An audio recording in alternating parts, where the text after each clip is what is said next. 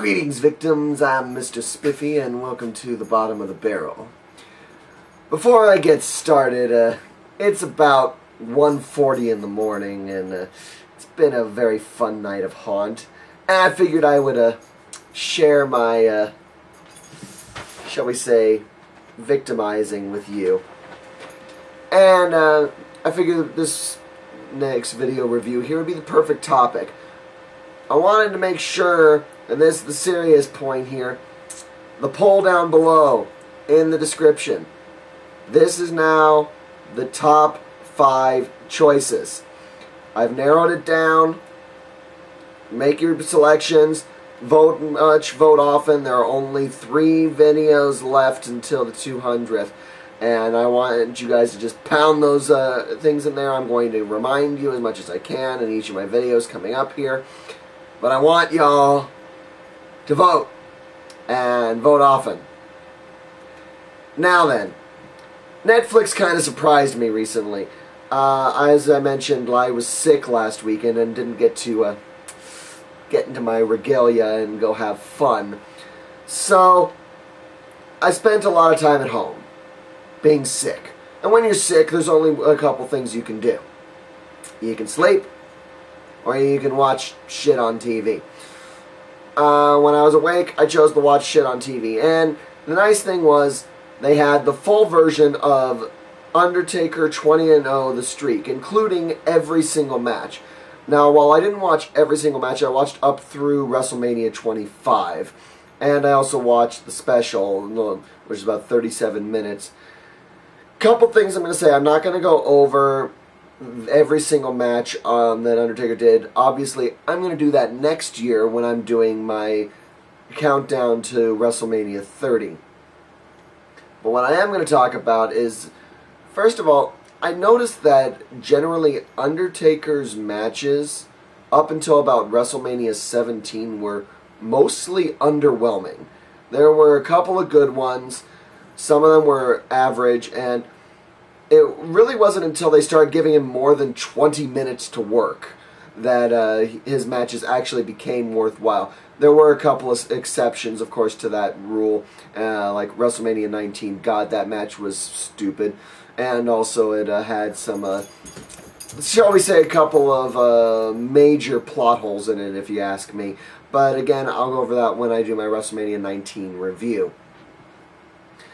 The special on uh, this video was uh, it, it, most of it was just summarizing the matches.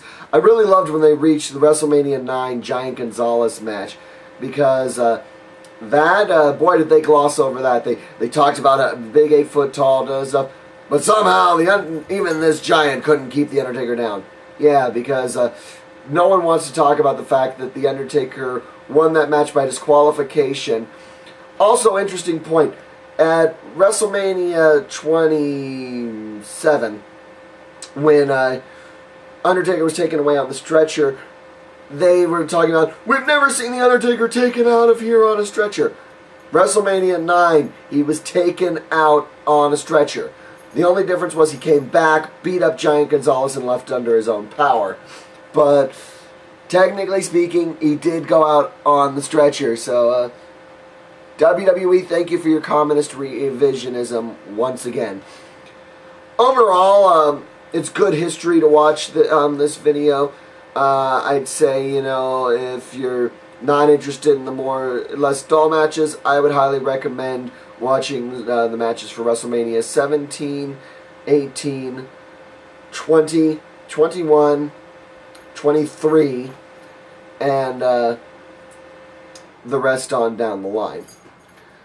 Uh, I can't say much more about the um, about this video because the you know it was a pretty basic package. They gave a little history on the Undertaker, show, um, gave a quick show of his premiere. Most of it was uh, just highlights of the matches, and then of course all the matches in their entirety. Except they uh, decided to disclude the very ending with the Big Boss Man, where uh, yeah, the brood helped hang him from the top of the hell in the cell.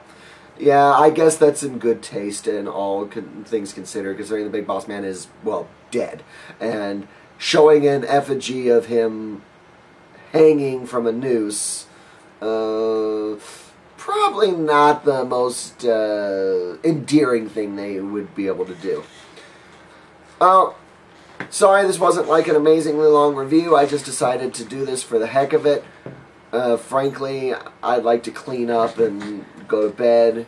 Uh, I do have to get up a little early because my wife's got to work at her normal job at 10 a.m. and then we've got one more night of haunt for the weekend.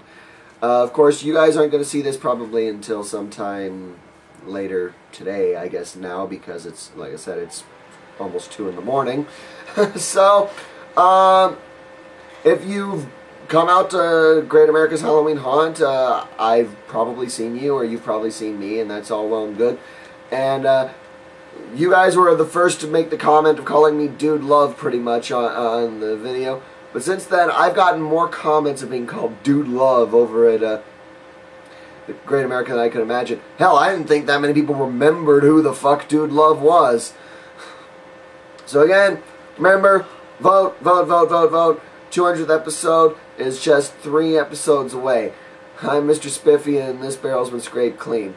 Have a good whatever time of day it is when you watch this. Oh, yes. And there was one other thing I wanted to do. I wanted to share a, uh, shall we say, nightly tradition with uh, you guys. Remember, bullet holes. Great place to hang your glasses. And that is this. This headband. Which sticks to my head like duct tape. Son of a bitch!